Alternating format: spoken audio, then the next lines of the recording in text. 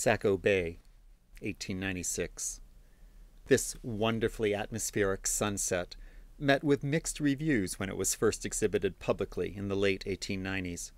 It was awarded a gold medal at the Pennsylvania Academy of the Fine Arts in 1897, and a critic for the Washington Post wrote that it was by far the masterpiece of the exhibition.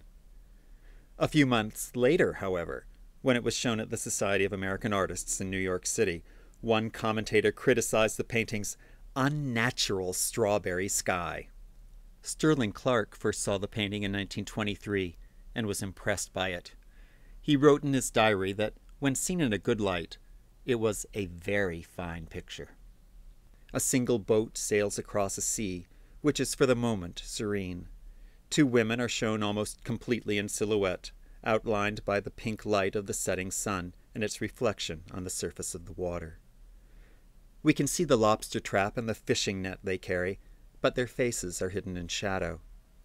This is one of the last of Homer's works in which women appear, and they seem to be carved from the same material as the boulders on which they stand.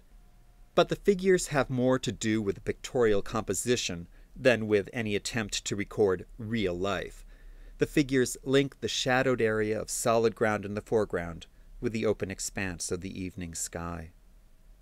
More than ten years before, between the spring of 1881 and the fall of 1882, Homer had lived in the fishing village of Cullercoats on the northeast coast of England.